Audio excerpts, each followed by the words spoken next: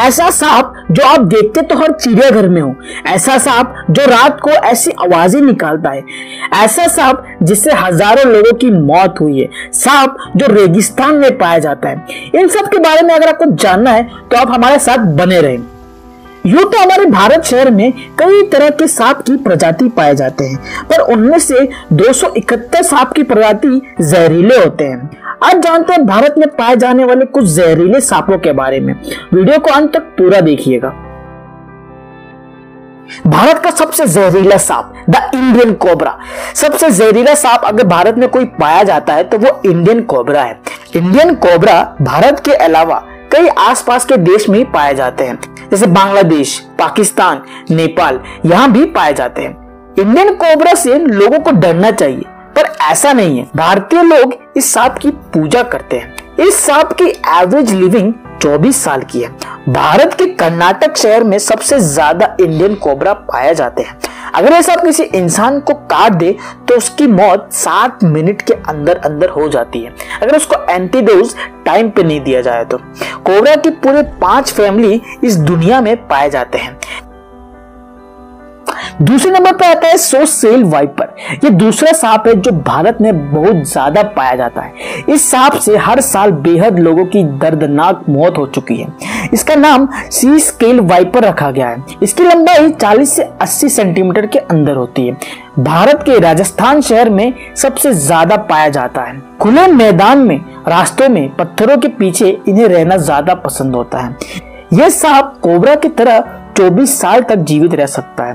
बहुत जल्दी रिएक्ट करने वाला ये दुनिया का सबसे खतरनाक और एग्रेसिव सांपों में पाया जाता है।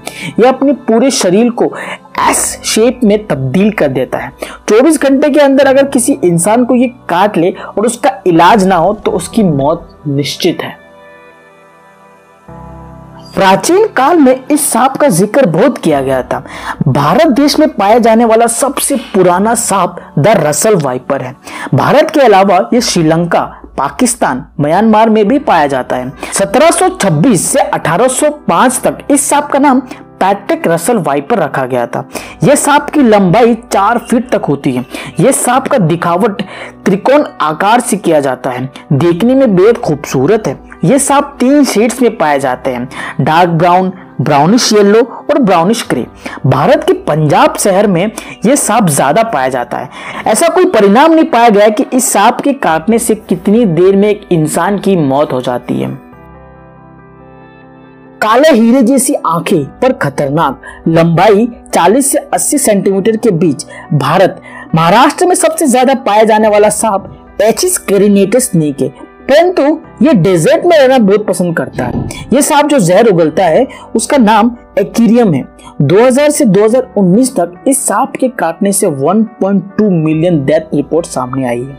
ये सांप ज़्यादातर रात में बाहर आते हैं और सुबह तक आराम करते हैं। इस सांप का बिहेवियर कुछ हद तक रसल वाइपर जैसे ही है।